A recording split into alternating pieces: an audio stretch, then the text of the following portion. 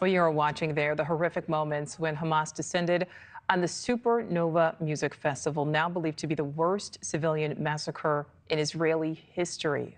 About 3,500 people were in attendance. Videos all over social media showing the panic, the chaos as people scrambled for cover, tried to escape.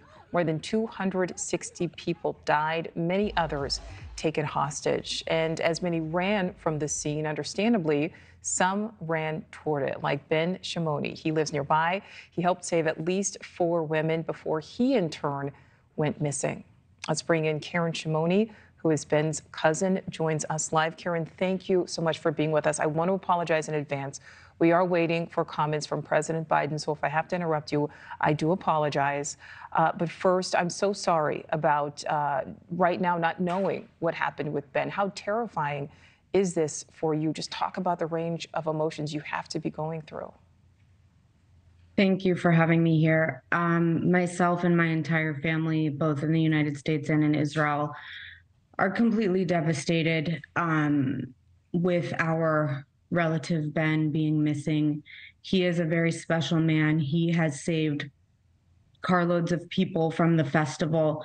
He took people to safety and then decided to go back into the dangerous area to go collect more people. He was begged to stay back and he felt called to go help people.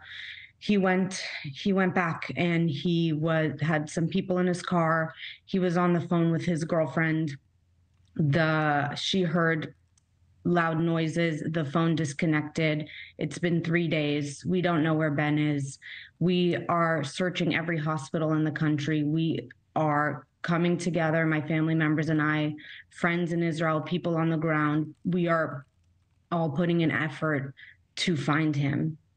Absolutely. And he, and he really is such an amazing person. Uh, when did you learn about what happened, Karen? Was it a phone call, the phone call from his girlfriend? I heard my parents um, had heard in the middle of the night. And so I woke up to messages from my parents um, about the war breaking out, or, you know, at that time it wasn't declared war yet, as the terror attacks hitting Israel. Um, and and that one of the people who are missing is is is our cousin Ben, our very very close cousin. He visits us here in America. We visit him in Israel. He he is just such a special person. He takes care of everyone around him, and we are just completely in shock. Oh, we are devastated. We, can't even imagine, and and it shows. I mean, it speaks to the kind of person that he is. The fact that he would go back, the fact that he would help others uh, in what was so obviously a dangerous situation. Karen, have you, uh, your family, Ben's parents, been able to gather any information from the Israeli government? Obviously, knowing that right now everything is so chaotic a lot of our information is very grassroots people, um, family and friends piecing together clues. Um, his car has been located damaged um, with blood stains. His phone has been located and returned to the family. We're just taking pinged locations. We're taking personal accounts from anyone who will share with us. We're trying to put together the pieces of this horrifying puzzle.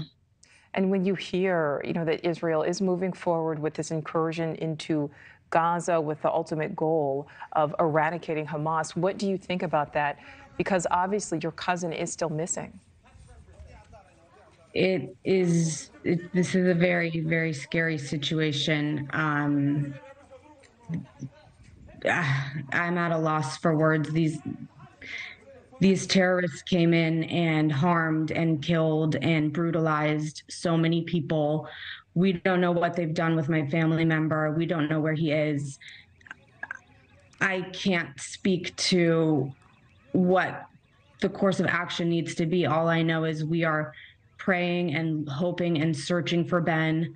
Um, and we hope he is in Israel. We hope he's safe.